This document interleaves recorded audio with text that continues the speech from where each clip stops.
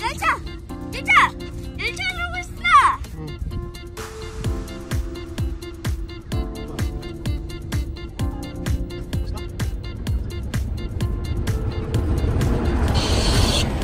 기체기관차예요. 번지기관차는 아니고요. 아, 근데 이거 이제 전철화한대요. 네, 전철화돼서 전기로 바뀔 것 같아요. 맞아요.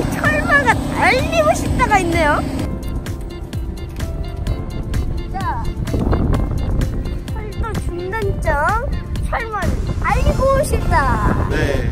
여기, 여기서 경계선을 넘어져가면 북한이에요. 여기가 북한과 남한이 통일이 되면 요거는 요 뱅어브 지역은 한수센터가 될 거예요. 환승센터가 될 수 있겠네요. 보니까 네. 어 여기 선이 하나밖에 없어. 네. 네. 그럼 북한이랑 어떻게 다닐 수 있을까요?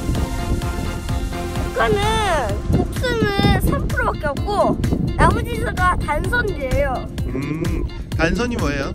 단선은 복선 이런 복선과 달리 단선 하나밖에 없는 거예요. 아 그러면 열차가 하나밖에 못 다녀? 네. 네. 그럼 어떻게 왕복을 해요? 남한 열차가 가면 북한 열차가 오고 북한 열차가 가면 남한 열차가 오는 거죠. 아 그렇구나.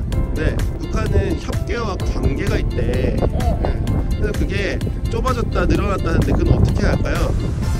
열차의 면적이 넓어지고 좁아지는 열차를 하거나 네. 아니면 북한과 남한의 기- 기관차를 바꿔야 될 것 같은데요. 아 기관차를 바꿔서 가는 것도 가능하다. 네. 게 열차가 생길 거예요. 열차에 이렇게 궤도가 좁았다가 넓어진 걸 대비해서 열차가 원래 일면선으로 달리다가 넓어지면 차공 이 가는 거죠. 네. 다시 띠용 띠용 띵띵 이렇게 된 거죠.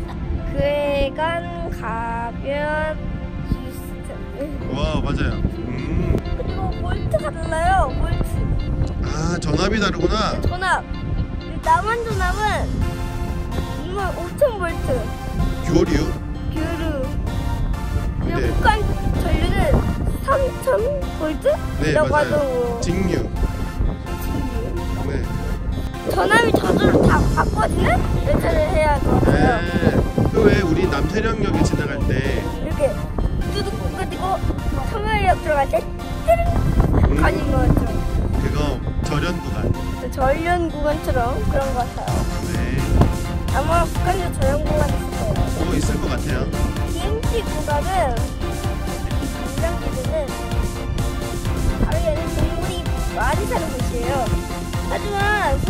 가려면 거기를 지나가기 때문에 무신동 모두 무공해요. 네. 아, 그렇군요. 네. 우리 뭐라도 좀 먹읍시다. 네, 도시락 먹읍시다. 도시락, 도시락. 도시락. 자, 그래요? 네, 가시오. 그가